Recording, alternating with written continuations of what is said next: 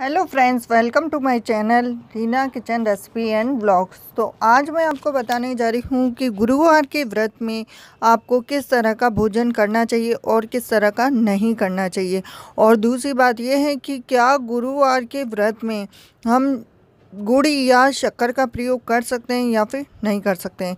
इसके इसके बारे में आपको जानकारी दी जाएगी वीडियो के लास्ट में। तो वीडियो के लास्ट में आप बने रहिए। तो जैसे गुरुवार के व्रत में आप फल साबुदाना, राजगिरी का आटा आलू, मूंगफली और ज़मीन से निकले कंद जैसे आलू, शकरकंद आदि से बनी हुई चीज़ें और दूध से बनी हुई मिठाइयाँ, इन सब चीज़ों का प्रयोग कर सकते हैं। और ध्यान रहे कि इनमें से किसी भी व्यंजन में अन्न का प्रयोग नहीं होना चाहिए। व्रत में सात्विक भोजन जैसे सात्विक भोजन हमें खाना चाहिए, जैसे दूध से बनी हुई चीज़ें।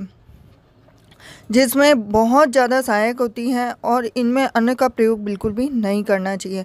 अब कहा भी गया है कि मांस, अंडे, खट्टे और तले हुए मसाले, मसालेदार और बासी व्यंजन बिल्कुल भी नहीं करना चाहिए। व्रत के अनुसार नमक का सेवन करने की भी मनाही है क्योंकि ये शरीर में उत्तेजना उत्पन्न करता है, इसलिए उपवास के दौरान इसका भी सेवन नहीं करना चाहिए। अब शारीरिक शुद्धि के लिए आपको क्या क्या खाना चाहिए? जैसे शारीरिक शुद्धि के लिए तुलसी जल, अदरक का पानी, फिर अंगूर, इन सब चीज़ों का सेवन करना चाहिए।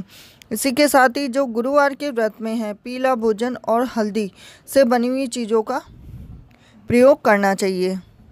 तो ये जानकारी अगर आपको पसंद आई हो तो वीडियो को लाइक कीजिए और दूसरी बात यह है कि आप व्रत के दौरान मैंने आपको बताया था कि दूध या दही का सेवन कर सकते या फिर नहीं कर सकते तो इसमें यह है कि इस व्रत में दूध और दही का सेवन किया जा सकता है।